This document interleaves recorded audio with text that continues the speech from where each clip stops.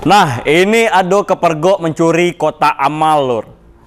Di mana seorang pencuri kotak amal di kota Jambi ditangkap dan dihajar warga setelah aksinya kepergok. Atas perbuatannya saat ini pelaku sudah diamankan oleh pihak kepolisian. Kayak mana beritanya? Kita tengok. Ini dia berita. Seorang pencuri kotak amal di Jambi dihajar warga setelah aksinya ketahuan. Kaki dan tangan pelaku diikat menggunakan tali seadanya setelah berhasil ditangkap warga. Peristiwa itu terjadi di Masjid Nurul Islam, Kelurahan Solek Sipin, Kecamatan Danau Sipin, Kota Jambi, pada Rabu 3 Mei lalu sekira pukul 3.30 waktu Indonesia Barat. Pelaku beraksi sendiri dengan mencongkel dua kotak amal menggunakan tang. Aksi pelaku diketahui setelah marbot melihat gerak-gerik mencurigakan dari layar monitor CCTV. Atas hal itu, marbot dan warga membuat rencana mengepung pelaku saat beraksi dan akhirnya tertangkap.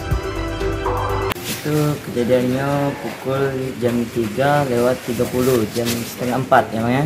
Hmm. Itu pada waktu hari Rabu. Heeh. Dia masuk pakai motor terus Hmm. ke dalam masjid langsung menuju ke kotak amal. Dia sendirian tuh bang. Dia sendirian nggak ada teman. Bang, ciri-ciri pelaku itu gimana bang? Dia masuk pakai topi sama baju kaos hitam, celana pendek. Awalnya itu ketahuan gimana bang? Bisa dipergok keluarga, kemudian dihajar warga bang ya? Itu teman saya bangun terus bangunin saya. Saya langsung telepon abang penasihat saya. Yang sekitar terus di sekitar masjid saya bangunin juga minta tolong bantu. Akhirnya bisa bantu. Ya, jadi tertangkaplah terus diikat. Oh, jadi abang nggak nggak nggak mengganggu dulu, biarin dia Nggak-? Iya, biarin dulu. Oh. Saya lagi telepon sama abang penasihat saya.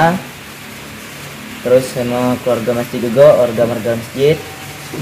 Oh, berarti waktu dia beraksi, abang monitor dari CCTV aja Iya, gitu ya? saya Kini pelaku telah digelandang ke Polsek Lanepura atas perbuatannya. Tim Liputan, Jack TV, melaporkan.